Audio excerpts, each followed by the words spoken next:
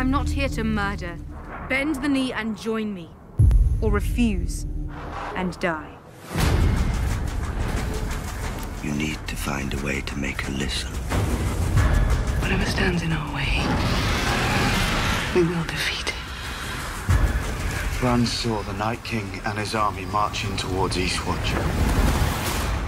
Bad things are coming.